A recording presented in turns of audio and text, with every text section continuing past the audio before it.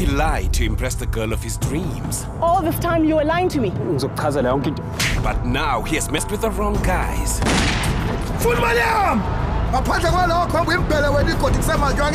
With his life on the line, is love worth it? Ekasi, our stories, Mageza, Monday at 9 on E!